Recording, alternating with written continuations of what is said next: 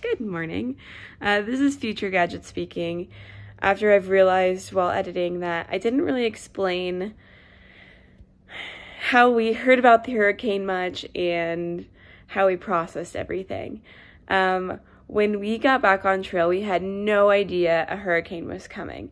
I did get a text from our friend Ralph. I don't know if you guys remember her. She was doing the long trail and we met her um, on her AT portion of it and it said basically like, did you know you're heading into a hurricane? We didn't know. We knew it was going to rain that day uh, for the next like few days, but we had no idea. So I kind of like laughed it off, didn't really think much of it.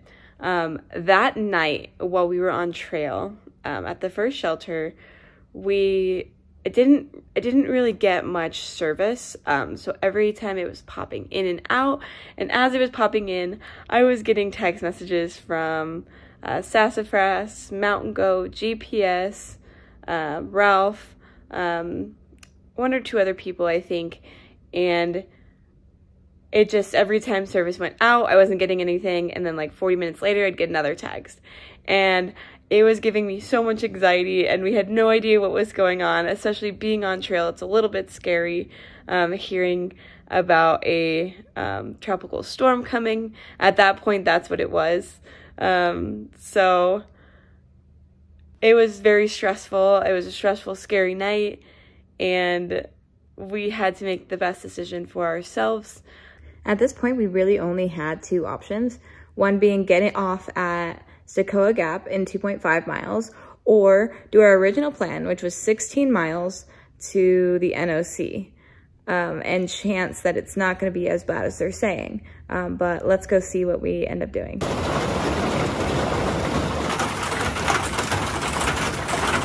I slept maybe three hours last night. The, the rain was just so loud and then there was this banging noise that kept hitting the shelter.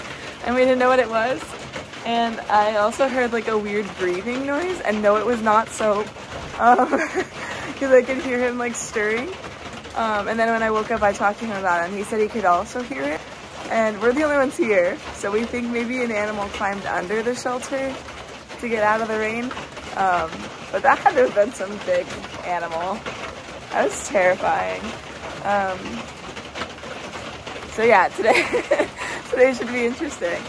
Like the rain, like the precipitation thing. Are you filming me? Yeah. Are you recording? Yeah. Um, it looks like maybe it's going to go to a kind of moderate. So right now, apparently, this is heavy. Oh god. and it's going to moderate around maybe 11 o'clock-ish. Okay. For maybe a few hours. So what'd you call last night then? Because this is not moderate. I mean, this is not heavy. I don't think this is. Like extra heavy? there is an extreme. No, it's not. It's not that bad. I'm getting a little bit concerned. I think it'll be funny, but I just got a text from my mom uh, saying, "Are you aware or are you well prepared for the hurricane?" And I said, "Well, we're very aware of it." so this should be fun.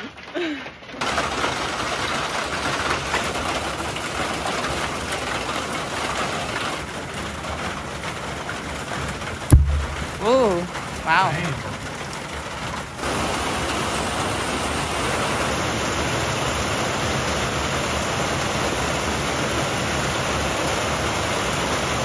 All right, after a pretty long nap, uh, it's about 12.30, uh, so and I are gonna pack up and head down towards Stecoah Gap. Um, it's a pretty main road, and we're thinking about getting a hitch. I haven't had service for uh, I've had a little bit of spotty service since we left Fontana yesterday. Soap's had a, a, a, little bit here and there as well, but we remember that he had some pretty good service down at that gap. So we're gonna try and, in this little break of rain, um, I know you can still hear it, it's just not as bad as it has been all morning. We're hoping it doesn't get any worse while we're hiking. Uh, we're gonna do the two miles down to the gap and hope for a hitch or a call a shuttle. Wish us luck.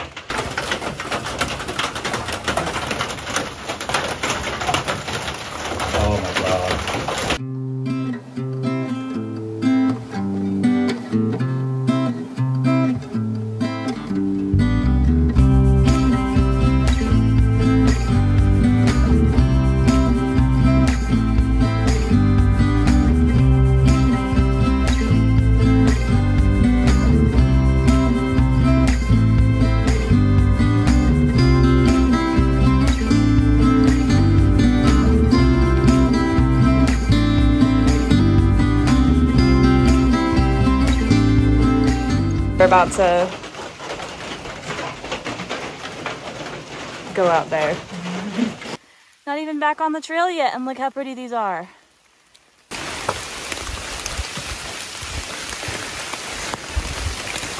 All right, good afternoon. Um, we left at about 1.40 when there was a slight break in the rain. But, whew, I just went up a little hill, little, and I'm out of breath. Um, but my legs are kind of remembering what to do on the hills, and it feels like a nice day. But don't let that fool you, because we hear that a big hurricane is coming through. Whoops, spider web. Might have just been last night, but they're saying into early tomorrow morning, maybe late tomorrow. So it'll probably hit again soon. And if not, at least we were prepared. Whew.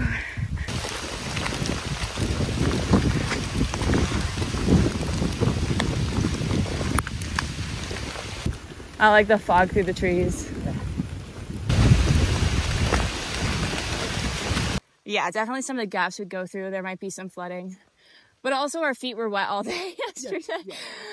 Well, I'm, I'm not worried about that per se. It's just that again, if shit gets washed away, like you, Yeah, there could be like mudslides and shit. But if the governor's like worried and like I'm getting a bunch of messages, Charlie Smart, we're getting off. but also like with the amount of rain that falls, like it, it weakens the soil so that more trees will fall, and Absolutely. then there's a possibility of us getting hit by falling trees. Absolutely. Especially with the trees that were like dropping on the shelter last night. Yeah. Whew. But we'll try hitching and then if not, we'll get a, a shuttle. Oh, look. What did you just say? They've upgraded us from tropical storm to hurricane. The hurricane. That's nice. That's lovely. Who doesn't love an upgrade? I like upgrades. It's this positive mental attitude we have that gets us through so much. Absolutely. I'm also really liking the light rain we're getting now. Yes.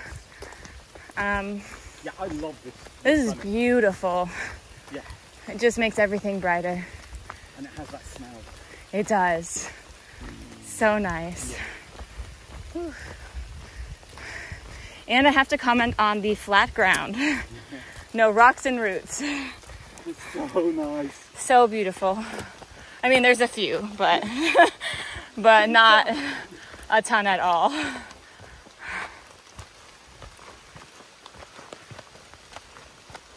Ah, it's just so pretty. Well, the good news is that we're going to have at least like the rest of the day and probably tomorrow To do whatever. do some editing and reading. Oh, I'm loving my book right now. Yes, I'm loving mine. You like yours? Yeah. Good. I'm gonna have to pick up a new one soon. You are? Not like soon, soon, but I'm already like a sixth of the way through. And we're only one day in. Mm. I mean, The Alchemist is a short book, so. Yeah. It is. It's, um, yeah. I'm very interested to hear your thoughts on it. Because isn't it about like finding your purpose or like accepting like where you're at? A little bit.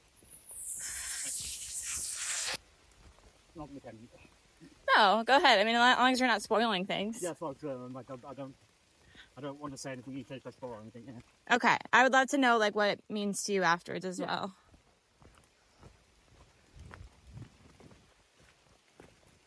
Whether or not it's on this one or one further away. Yeah, so I'm pretty sure like we'll get some traffic, but not a ton of I'm traffic. I'm a little worried. Working on that area. Yeah, they were they were working like on the embankment and stuff further up, Yeah. so you couldn't like Maybe you could put along the trail up there, but you couldn't then cut down into the gap. gap. That makes a lot of sense. I, know, sometimes. Okay, they did finish the steps. This is nice. Oh, Ew, look how pretty the leaves look on the yeah. the wood. Oh, good Nice. aesthetic road workers. Nice. It's like they meant to do this on purpose.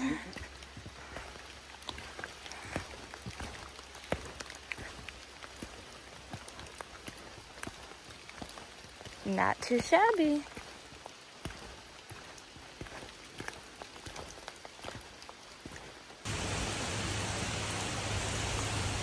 The droplets on this. Wow. When we made it to Stecoah Gap, I called around to probably about five different shuttles um, and hostels in the area. Everyone, for some reason, was about two hours away. They couldn't get us for two or three hours, and we didn't know when said hurricane would hit, so we were terrified. We also found out that the storm that we were in that day slash the day before was a pre-storm, and it wasn't even the actual hurricane. So it was storm and then a hurricane. Honestly, I was getting a little bit worried. Um, the fog was rolling in. Uh, there's there wasn't much clearance around the bend, and because of that, um, I don't think cars were seeing us very well. Stecoah Gap is definitely a good place to get a hitch, um, but for some reason, a lot of people weren't out because they knew a hurricane was coming. They were a lot smarter than us. Um, and that fog just was ripping through and the rain was, it was, it was rough. So we were lucky we got out when we did. Okay, so we've called around to very like a bunch of different places, and we finally found someone who's going to give us a ride into Robbinsville from Stecoah Gap. Um, his name's Fred. Seems really nice. Um, and then we're gonna figure out what to do next because apparently this Hurricane Helene or Helen or whatever is going to go straight through where we're at, and so we're gonna get the center of it either tonight or tomorrow morning or tomorrow night. So I think it's definitely the right move to get off trail. Um, and I'm glad that like all of my family members have been texting me. My mother's been texting me about it. we would have had no idea, and we would have been just like hiking in it or potentially just like hunkered down at a shelter. So we're gonna see what we're gonna do and go from there. But potentially it is going to be the most intense storm this area has seen in a very, very long time. Yikes.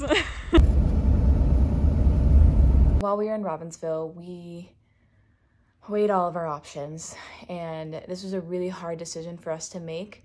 Um, one of the reasons we came back out on trail, um, especially for me personally, is when I first started the AT, I was not physically fit um, at all. And some of these mountains and hills just kicked my butt. And so I wanted to kick their butt right back. And the NOC was one of them. And it I was struggling with the fact that I might not be able to do it this trip.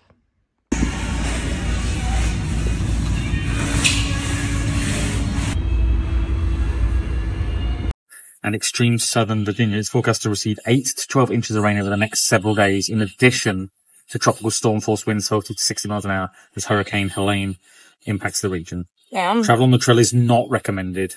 Please monitor the forecast on radars carefully for the, hey, yeah, okay. Yeah. Yeah. Tropical cyclone statement issued. Tropical storm warning. Flood watch. Funny. Okay, so I've just got like an actual public safety alert. Yikes.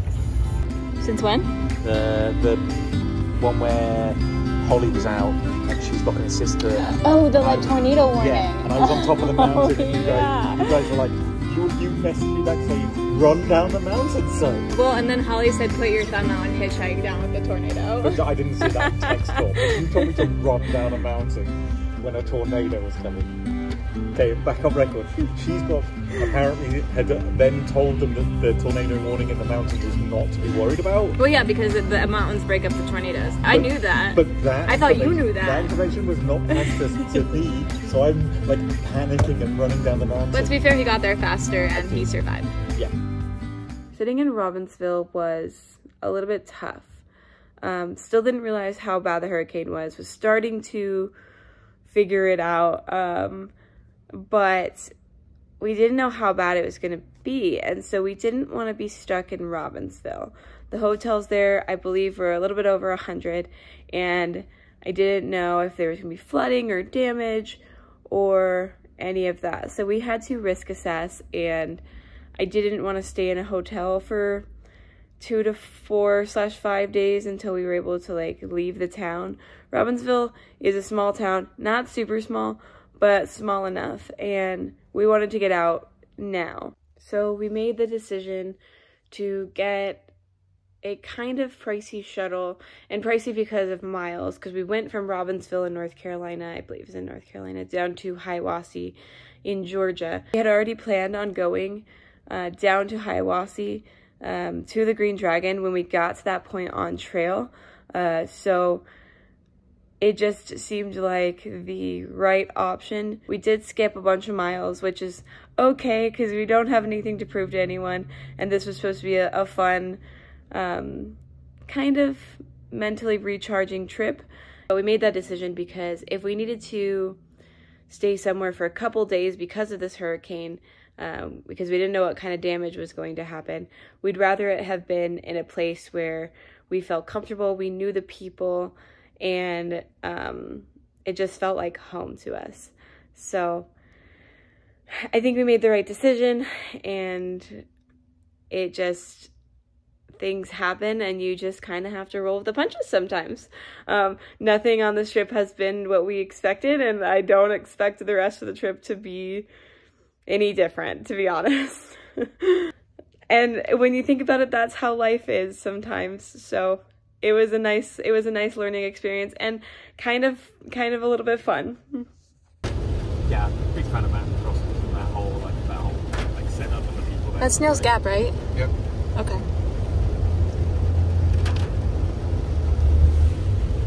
Oh, cool. There's uh right above the hostel. There's like the employee living. Um, Okay, we're back at the Green Dragon, which is like awesome. So we got shuttled here, and the surprise worked out. Um, we surprised them with Sophie. Had, they had no idea he was coming. So uh, if you're in the area, please stay at the Green Dragon. This place is awesome. Heck but we have another surprise.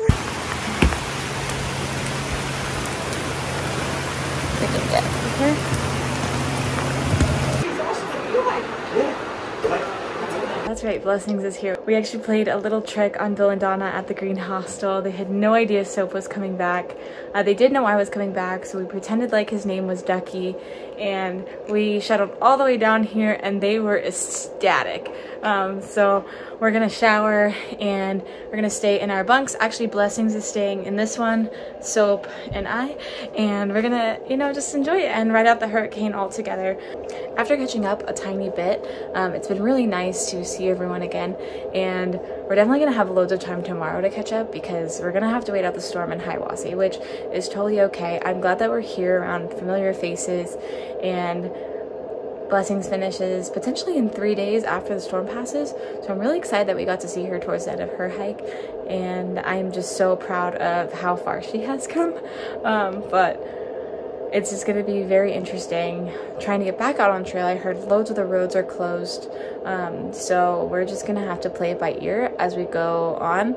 But for now, we'll stay here, we'll stay dry, we'll stay happy, and continue on when we can, when the roads are safe. Um, the one of the reasons we, we decided to get off trail and you saw all the texts and pictures we were getting this is supposed to be the biggest storm of this generation uh, on the east coast um, so there's going to be landslides flooding. It's just not safe hiking weather. Um, we've definitely have hiked through uh, different hurricanes before. However this one's just going to be absolutely insane. So better safe than sorry. We're going to stay off trail. It's going to kind of hop around and see and maybe just do some of our favorite hikes. Um, not exactly what we planned but nothing never is. And honestly, we like a good plan until a better one comes along. And that's always been our motto, motto and will probably stay forever. So thanks again for watching and good night. What the hair looks like when we take it out of the braids. Beautiful. Yeah. Sponsored by